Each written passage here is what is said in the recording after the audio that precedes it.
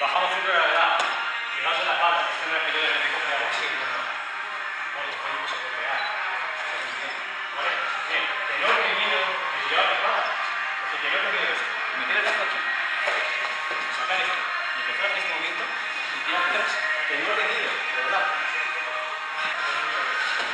Se queda esta altura. Yo sigo mi posición de piernas abiertas. Si lo hago aquí, si lo hago aquí,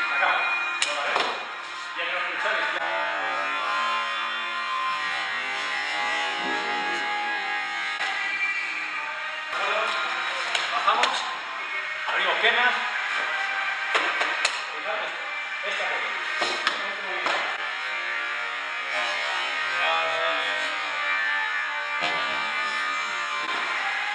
¿De acuerdo? Piernas, aquí ya sabéis que se puede golpear, se puede golpear.